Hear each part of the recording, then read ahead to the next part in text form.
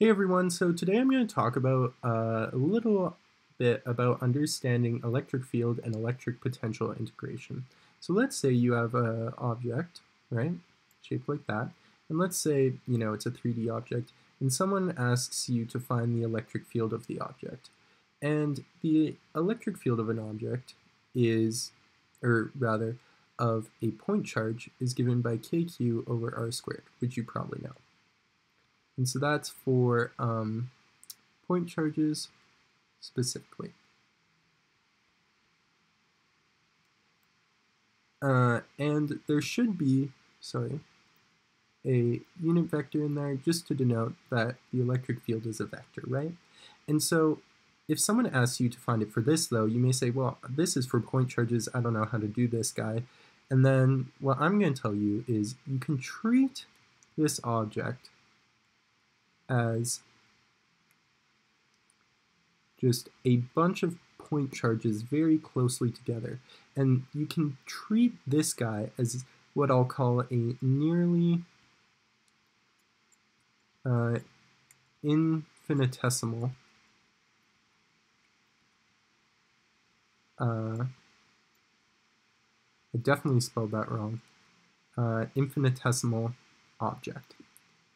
And so because it's infinitesimal, we can treat this point charge, because we're going to need to denote, denote its charge somehow, as delta q, where this delta is just taking care of this nearly infinitesimal part, uh, because, as I can write here, uh, this delta is nearly zero, but not quite zero, so we just need to acknowledge that in our notation, and that will become uh, evident when we go to do integration. But for now, let's continue uh, pretending like we didn't know how to do integration.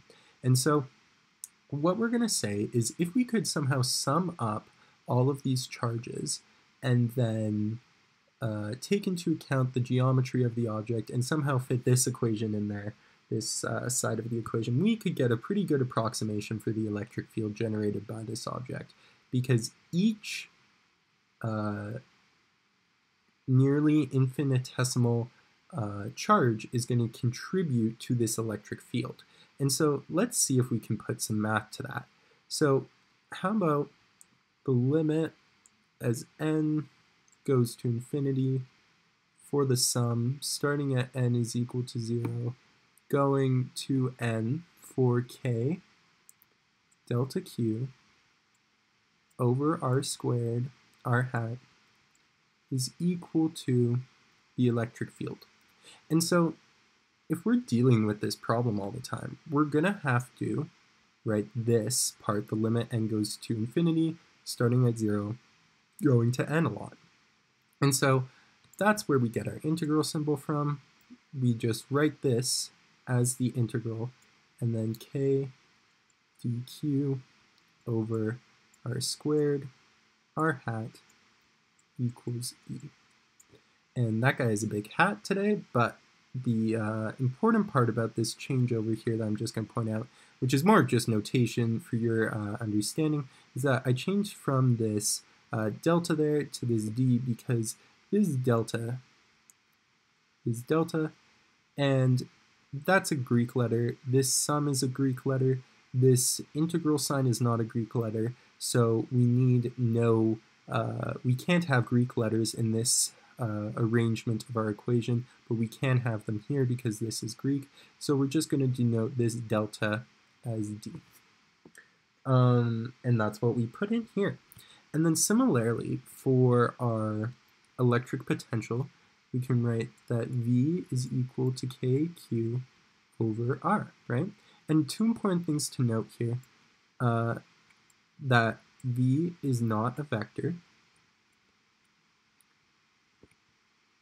not a vector, as noted because there's no uh, vector symbol here, I haven't written that, and that also a lot of times uh, people forget that there's no squared here, there's no squared here for this v. And so that's really important, and this is also for point charges, this guy, so I'll just make a note of that. Okay, and so uh, with that in mind, we can still write that v in the exact same way as we did for these guys. So we can just write the limit as n goes to infinity for sum of n, n equals to 0, k dq, or sorry, that should be delta q. I'll uh, undo that for the purposes of our notation. There we go. So k delta q over r um, will give me v, and then similarly I can write the integral k dq over r gives me v. And so now I'm just going to run through a few steps with you guys because I know right now it seems pretty general and you're probably thinking, oh, this doesn't seem like horrible, horrible, uh, about some steps that will help you, or hopefully help you, uh, when solving problems. And so if we just go down, and then I'm going to write out that electric field equation again.